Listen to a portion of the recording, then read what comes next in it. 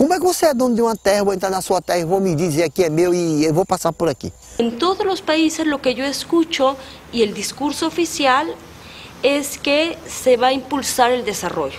¿El desarrollo para quién? ¿Y de qué desarrollo estamos hablando? Você está ali tranquilo, dormindo, de repente o trem passa, buzina, é um impacto muito grande. Eu não tenho um banco próximo, mas eu também não tenho, não, não tenho uma cultura. Eu não posso plantar, eu não tenho como plantar. Su ciudad y su entorno está siendo destruido. Ellos viven en, en espacios pequeños y no se dan cuenta de cómo está cambiando su entorno.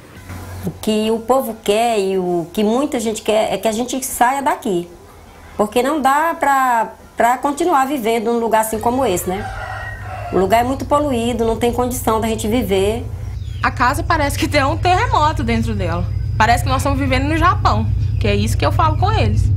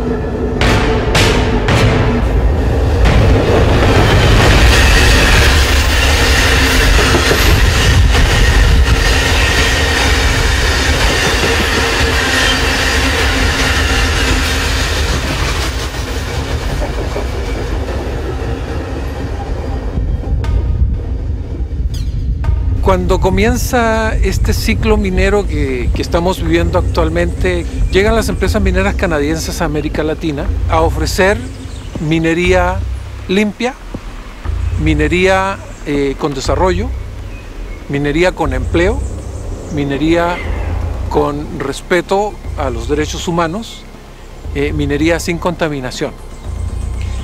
Esa fue la gran promesa. La capacidad de países como la China, la India y su necesidad para importar metales, minerales, es inmenso.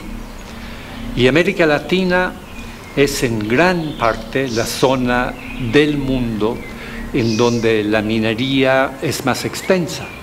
o, modelo extrativista em geral, particularmente o extrativismo mineral, gera um- uma sensação, uma impressão de que todos ganhamos. O pessoal da cidade ganha porque vai gerar ingressos, vai gerar empregos. O pessoal dos territórios ganha porque vão ter royalties, vão ter indenizações, porque vai ter escola, porque vai ter. Há uma impressão, um certo ambiente de que todo mundo ganha. E isso termina legitimando um modelo extrativista no qual, aliás, ninguém ganha, somente eles. E eu me assustei no começo do ano passado, quando me envolvi mais com a população de Brumadinho, lá da sede, que há um senso comum de que a mineração é boa, de que a mineração gera emprego, porque o município se desenvolveu né, com base nisso. É um município minerador e enche o peito para falar: somos um município minerador. Então, é, tem uma parcela da população que compra esse discurso, já, tá, já cresceu de gerações acostumada com isso. No entanto, tem um outro pessoal que já está mais desperto, que já está mais alerta, que, que está incomodado, que sente os impactos, que sofre os impactos de trânsito, de poeira. Las empresas han tenido que desarrollar estrategias intentando convencer a las poblaciones que son una buena opción de desarrollo. Entonces eh, han comenzado a, a- a trabajar eh, estrategias de responsabilidad social Congonhas, que é um município que tem várias minerações, que é fazer essa propaganda de que vale a pena ser uma cidade mineradora, 70% da população ganha menos dois salários mínimos. Isso está lá nos dados do IBGE. Então, que raio de desenvolvimento e progresso é esse que a mineração traz? A maioria das comunidades elas têm as suas atividades são do outro lado da linha férrea. Elas moram na comunidade, mas aí elas têm que passar pela linha férrea para ir para as suas atividades na agricultura, na pesca. A Vale ela não tem pensado nessa questão do- dos viadutos, das passarelas. Isso é mínimo. Essas tias descem tudo.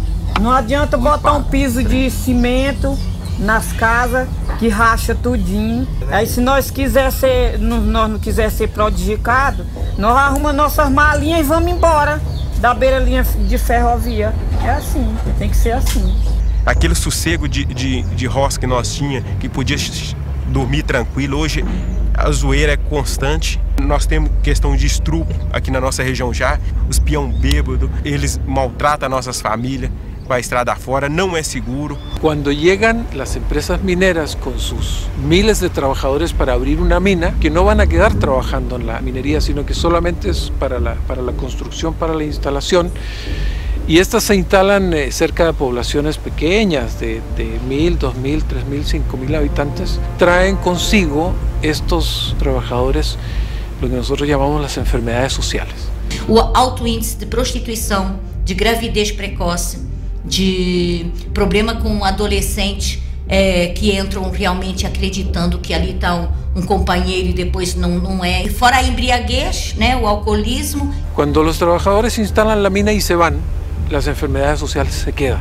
Eh, y eso es algo que las pequeñas comunidades no terminan de decir que es tal vez para ellas la peor maldición eh, que les ha llevado la minería.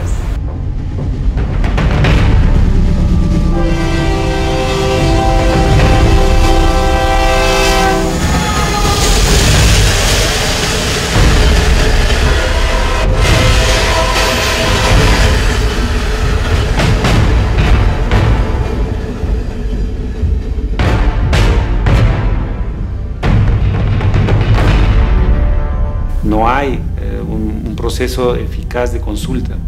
Entonces las empresas entran a las comunidades básicamente con el permiso del Estado central, pero no con el permiso de las comunidades. Es una gran lucha, por ejemplo, ahora en, en el Perú. Y está claro que la mayor parte del dinero de, producido por la, por la actividad sale del país. ¿no? que por más que se produzca dinero, el daño que produce la, la actividad minera es un daño irreversible. Si usted quiere tener un medio ambiente saludable va a tener que pagar, pagar para descontaminar y ese pago se hace a perpetuidad. Entonces no tiene mucho sentido ganar un poco de dinero hoy y después continuar pagando a perpetuidad para tener un medio ambiente que nunca va a ser igual que el que estaba antes de la actividad minera. Nuestro país ha determinado que una de las locomotoras para el desarrollo del país es la minería y la minería intensiva, extractiva, eh, que afecta definitivamente el ambiente y las comunidades. Lamentablemente es una pena ver de que mis hermanos eh, tengan que luchar en defensa de su naturaleza, en defensa de su agua, en defensa de su madre tierra y tengan que soportar una serie de violaciones de sus derechos.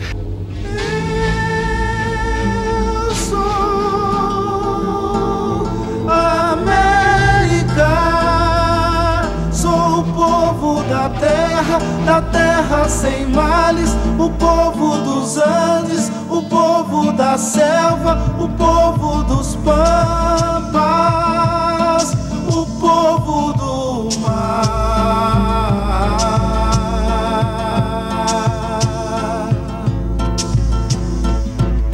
Do Colorado, do Tenochtitlan, do Machu Picchu, da Amazônia dos sete povos do Rio Grande, Pachamama. Nosotros como cristianos estamos cuidando la creación, ¿no? Esta creación, esta casa de todos, eh, que Dios nos, nos, regaló, puso en nuestras manos, pero no para que hagamos lo que querramos, sino para que la cuidemos, para que la aseguremos para las generaciones futuras y para sentirnos parte de este cosmos, ¿no? Nosotros no somos los dueños, nosotros somos una partecita más que tenemos que cuidarla, ¿no? Y a veces es lo que menos hacemos. Os povos indígenas são as, as grandes vítimas desse processo secular, como diria Dom Pedro, e nunca como hoje estão sendo bombardeados esses povos nos seus direitos constitucionais conquistados. Então, principalmente na questão da terra, estavam pautados duas, dois projetos de lei.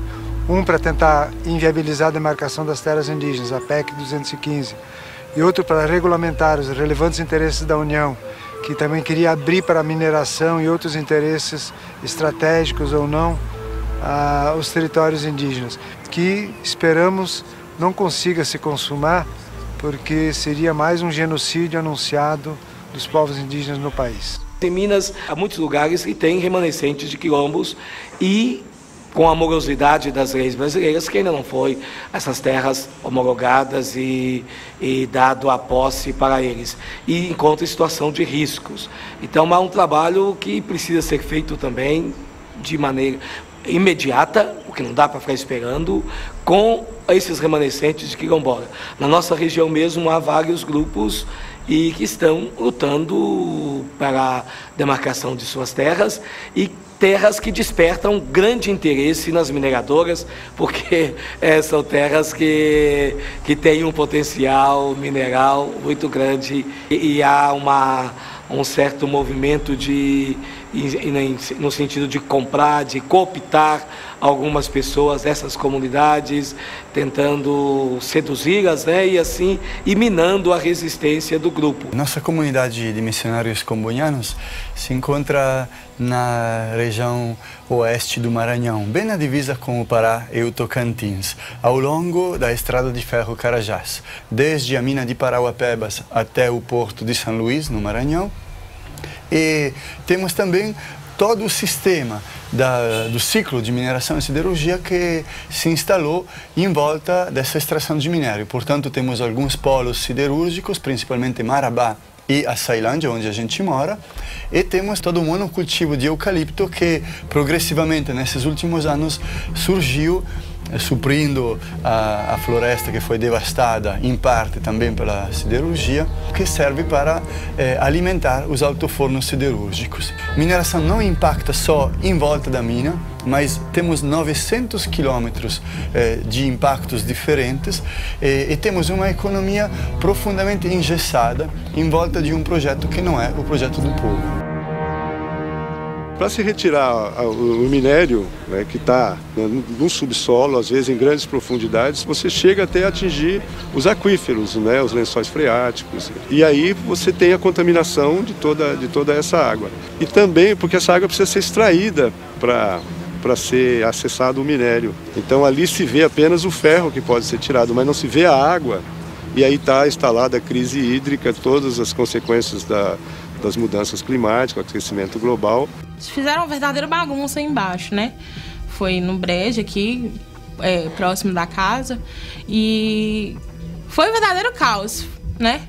Foi eles começar a, a, mexer aí e a água daqui começou a secar. A água é uma questão central quando a gente está falando de conflito, é porque a mineração impacta diretamente na água e porque a água é muito mais do que um bem econômico. Ela é primordial à vida e um recurso que mantém a vida, não só na reprodução material, mas também na reprodução simbólica e cultural. Eu, como médico, ginecologista e fui parteiro por toda a minha vida, eu faço uma analogia entre o aquífero ferrífero, que é a característica da nossa região, do, quadrilátero aquífero ferrífero, é que esse, esse ferro que está ali, ele está dentro da água.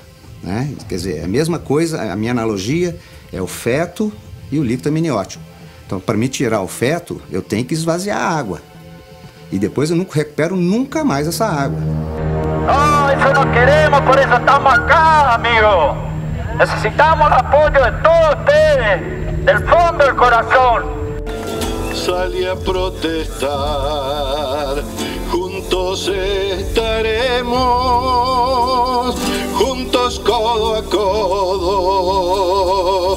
mostrando el bendito derecho a opinar, tan solo un milagro, Diosito pedimos, salvanos la tierra, la tierra sin mar.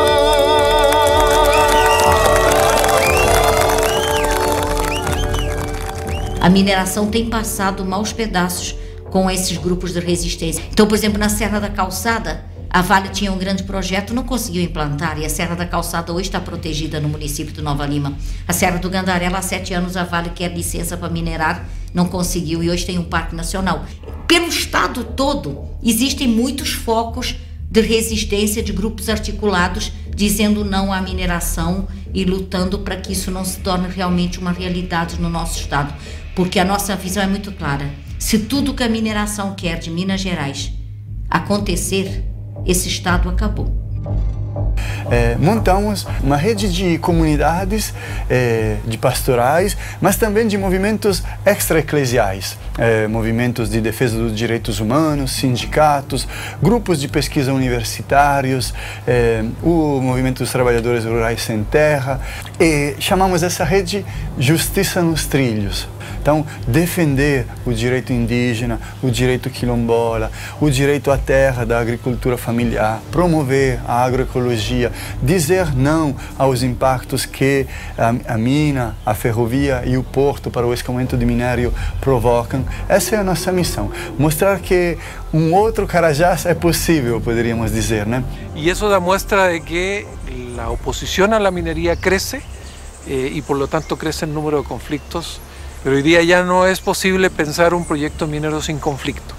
El rechazo a la minería crece, es nuestra esperanza porque la minería solo nos trae desgracia y no nos trae praticamente nenhum benefício. A gente é, dialoga com outros movimentos de resistência à mineração em outros lugares do Brasil e do mundo, e aí a gente implementa aqui localmente as estratégias que a gente né, tem acesso de enfrentamento, de mobilização, de resistência, de contrapor as, as informações é, que são repassadas pela empresa, que muitas vezes não são verdadeiras, então a gente traz esse, a, a verdade assim, à tona. Se ha tomado um acordo muito importante desde os obispos de América Latina e el Caribe, agrupados en el CELAM. Se ha presentado una propuesta aprobada por los obispos de Canadá y de los Estados Unidos a unirse y actuar y presentarse unidos con una sola voz en el sistema americano, en la práctica en la Comisión Interamericana de Defensa de los Derechos Humanos, sobre todo en este área. Entonces estamos tratando de afirmar una comunidad eclesial desde la fe para defender la vida. A luta na defesa do direito socioambiental é uma luta muito ímpar e muitas vezes cheia de derrotas. Às vezes a gente se pergunta o que motiva o povo a não desistir. Porque nós temos as nossas garantias como padres, como comunidade de religiosos, missionários, mas o povo não. O povo está aqui na ponta e apanha cotidianamente. E às vezes até não consegue enxergar o seu futuro. Então, o que motiva nós é, em pequena parte, aquilo que motiva o povo. A nossa força vem da força do povo. E a beleza é exatamente poder partilhar com eles. Né? Em América Latina, a igreja, as igrejas em geral, em particular a Igreja Católica, siempre es un referente para las comunidades. Es una institución de mucha trayectoria, las personas mucho en la iglesia, entonces siempre es la iglesia uno de los primeros lugares a los que asiste en búsqueda de información, en búsqueda de eh, defensa también.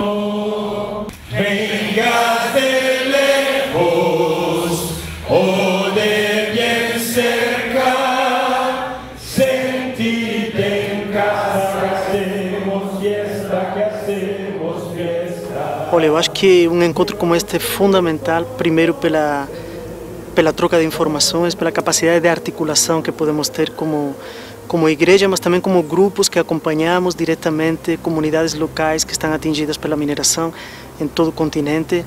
Eu acho que é fundamental este tipo de encontros, além da articulação, para que a gente consiga avançar numa compreensão comum de qual é esse modelo extrativo.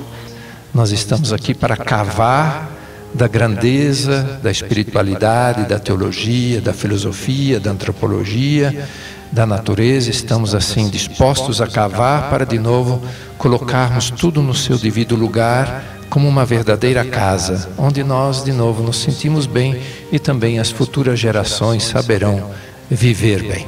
Nós sabemos que a CNBB fez um pronunciamento bastante eh, duro por ocasião quando iniciamos a discussão do Código da Mineração. Nós não podemos simplesmente, em nome do dinheiro, eh, em nome da ganância, destruir a nossa natureza. E nós precisamos, evidentemente, unir todas as forças. E mais do que isso, nós temos que olhar o macroecumenismo. Nós temos que buscar, além das igrejas cristãs, todos os homens e mulheres de boa vontade, de outras crenças que não sejam cristãs, porque a defesa da vida, ela está acima de todos os princípios. A defesa da vida, ela deve ser um chamado comum de todos os líderes religiosos de todas as crenças do planeta. Nas promessas que Deus faz para o seu povo, vai dar uma terra boa, terra muito fértil, terra de leite e de mel e terra rica em minério. Terra da qual pode extrair o ferro, pode extrair o cobre. Porém, e aí que vem o contexto desta promessa. Diz: nunca te esqueça que você saiu do Egito. Nunca te esqueça a situação em que tu estava, da qual tu saíste e aprendeste a obedecer aos meus mandamentos. Eu vou te dar tudo isso, mas não te esqueça que o que tem que fazer é continuar obedecendo aos meus mandamentos, para que não te, não te passe pela cabeça de acreditar que tudo isso foi força do teu braço que te deu. Não, foi eu que te dei para o serviço do povo como um todo. Tem um número famoso na Bíblia que é o número da besta, né? 666. Onde é que nós achamos esse número? Não só no Apocalipse, não. Está lá no Primeiro Testamento, quando se diz que a riqueza que chegava no palácio do rei Salomão era de 666 talentos de ouro por ano. Quer dizer, o número 666 é ligado ao ouro que concentrava como forma de riqueza no Palácio de Salomão, às custas de muita gente pobre, de muitos mineiros que nas minas de Salomão devem ter morrido para extrair esse ouro para o rei. Uma igreja capaz de recolher a herança do Concílio Vaticano II, que já nos desafiava a viver e assumir as alegrias, as esperanças e as dores da humanidade, não só dos nossos fiéis, mas sim da humanidade inteira. Hoje poderíamos dizer da criação inteira. Né? Esse é o desafio, esse é o nosso lugar, não no templo, e sim nas ruas, para construir a sociedade que estava no coração de Jesus e está nos planos de Deus. Eu tenho fé que a gente vai conseguir um dia sair daqui. Mas a gente só vai sair com luta, porque não existe vitória sem luta.